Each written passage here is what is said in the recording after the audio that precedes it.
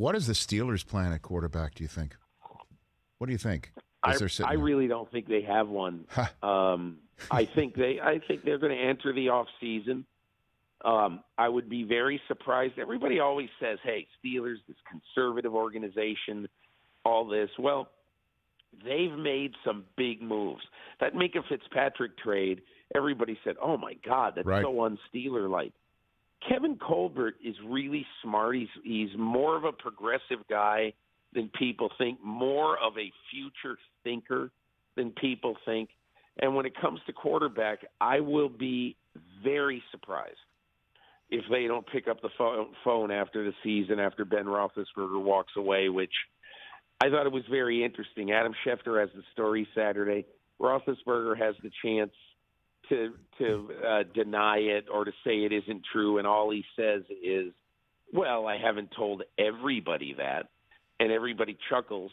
So clearly, this is a story. This is real, and to me, when I hear that, when I think about it, I think two days after the last game of the season for the Green Bay Packers, just my gut feeling, Kevin Colbert's going to pick up the phone and call Brian Gutekunst and say, "Do not make a move on Aaron Rodgers if you're going to, without talking to us." You know, and and the, and then then the, the question is is why why wouldn't Rodgers want to stay put? You know what I mean? Like, uh, would they really? are the Packers going through? Or they got what about Davante Adams? Well, that's what I'm saying. But why, why would the Packers say, you know what, it's time for us to just start from square one with Jordan Love, right? We've got the coach. We're, he's not going anywhere. And we've got the rest of the roster that we totally believe, but we do need to just start from scratch rather than do that three years from now when Aaron Rodgers might want to walk away at age 42, 43. Like, uh, and then why would Rod unless Rodgers really feels that um, that that everything hasn't been done for him, or does it really matter the way the season finishes? Than what we're talking about, because Rodgers is in a spot it- where he I knows he knows exactly where everything is and what what what, what he wants. I know, but I think I think it matters. I think everything matters to Aaron Rodgers. Look, I don't know that everybody believes this, and I can't tell you. I don't live in Aaron Rodgers' head. But when I talked to him in August, he looked me in the eye and he said, "Listen, this right now is about this season. This is about being where your feet are. This is not about." He he told the team this when he came back, and I'm gonna I'm gonna crudely paraphrase because I, I I wasn't there, but this is just basically what he passed on to me. That he told the, his teammates, "Listen, forget worrying about where you're going to be in 2022. Forget about the future.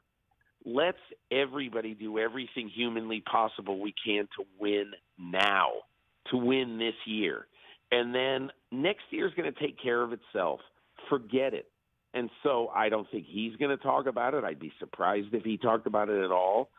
And I think he just wants to let everything fall the way it's going to fall this year. And then on February 16th or whatever the morning after his last game is, of course he thinks about it now.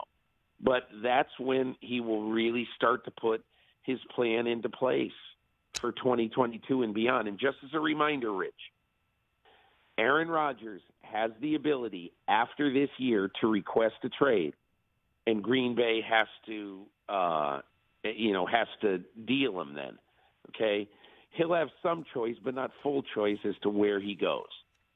And then if he if he plays one more year in 2022, he will be an unrestricted free agent right. and the Packers can do nothing to stop him from leaving. So essentially, he can go next year with some strings on him, including, keep this in mind, wherever he goes, it's going to cost that team two or three very high draft picks and maybe one very good player.